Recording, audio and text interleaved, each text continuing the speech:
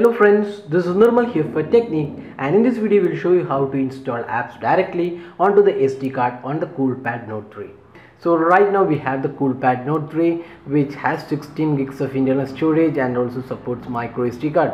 Now uh, if you're going to install apps and you already have the SD card uh, inserted onto the device, we'll show you how to do that. So first go to the settings. So under the settings uh, just uh, scroll down to device so you can see the storage option so just click the storage option. And uh, here we have uh, the phone storage uh, the external SD card and also the USB storage in case any USB uh, OTG uh, pen drive is uh, inserted. So now we have the phone memory and also the external memory I mean the SD card. So here we can see what all the space occupied. Now if you see at the bottom there is an option called location. So just hit this button and here you can see the default storage location so the default storage location that's the first option.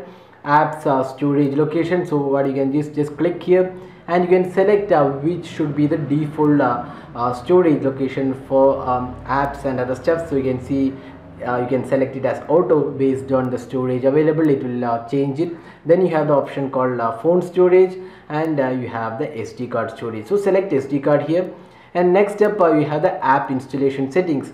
So app installation settings just click here. You can see phone preferred uh, SD card preferred. Now just change this to SD card preferred. So now we have uh, changed both the default storage location of the apps and also the app installation settings. So now both are uh, set to uh, SD card. So now from now on uh, any app you install will be directly stored onto the SD card. So make sure you have a good performing uh, SD card because it, since the apps are on the SD card if it is not really a performing SD card you might see the slowdown of apps so uh, make sure you have a good uh, SD card in, in, inserted onto the device.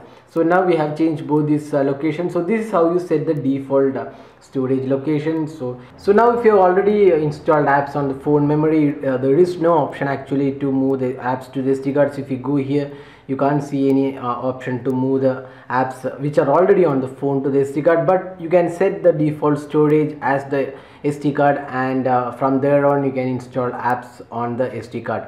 So that's the option here. So by default you cannot move apps which are already installed on the phone storage to the SD card but you can uninstall them and uh, install it again uh, on the directly onto the SD card by using this uh, method which we showed which is in the settings storage and uh, the default location can be set to the SD card. So that's the quick uh, video on how to set the default location as SD card on uh, the coolpad note 3 so hope you like this video. Don't forget to hit the like button and also subscribe to youtube channel for more videos. Thanks for watching. Have a great day